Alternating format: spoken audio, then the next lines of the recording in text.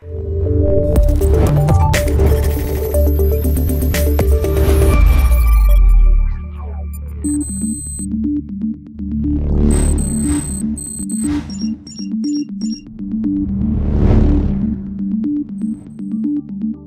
otra vez.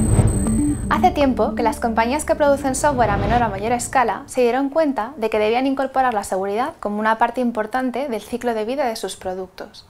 Las vulnerabilidades de código comenzaron a alcanzar cifras escandalosas y la criticidad de muchas de ellas no era para nada desdeñable, por lo que la reputación de los fabricantes de software estaba en juego.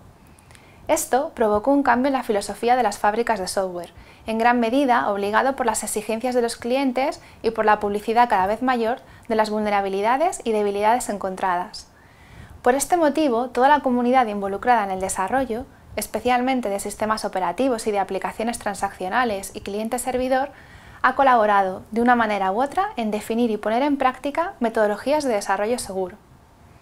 Para ello se han tenido en cuenta dos factores.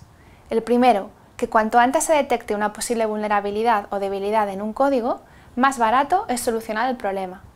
El segundo, que la mayor parte de las compañías que fabriquen software, por mucho que les preocupe la seguridad, no se pueden permitir cambiar por completo la manera en la que trabajan, solo pueden permitirse pequeños cambios o mejoras.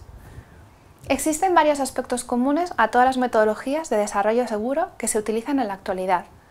Principalmente, los procesos que se llevan a cabo en el ciclo de vida del software deben ser repetibles. Los resultados obtenidos deben ser medibles. Debe facilitarse la trazabilidad, es decir, la posibilidad de tener un histórico detallado de los cambios y versiones. La formación y concienciación de los desarrolladores. Y lo que se llama SD3 más C. ¿Qué es esto último del SD3 más C?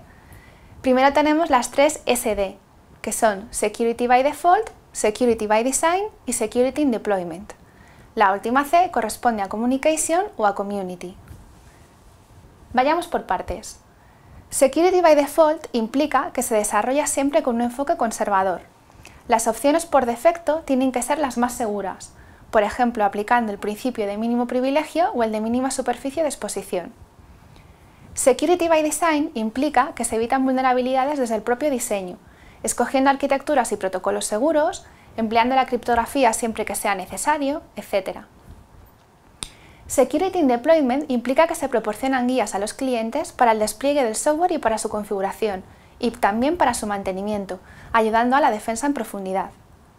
En cuanto a la C, de Communication o Community, corresponde con la idea de colaborar, comunicar, crear una comunidad para compartir conocimiento entre los buenos. Ya hemos mencionado en el MOOC anteriormente que se ha comprobado que la seguridad por oscuridad no funciona.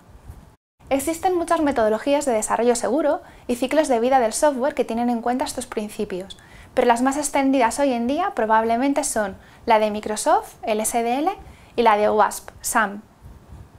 Y antes de terminar con esta clase, me gustaría que reflexionaras sobre un aspecto. Hay que tener en cuenta que el desarrollo seguro es un reto importante en la actualidad en el caso de aplicaciones para móviles o apps y para la nube, software as a service.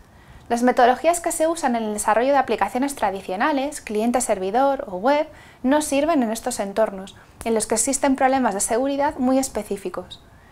Están surgiendo diferentes proyectos que comienzan por identificar las vulnerabilidades y debilidades más importantes para después proponer nuevas metodologías o adaptar las ya existentes, pero en este campo todavía queda mucho trabajo por hacer.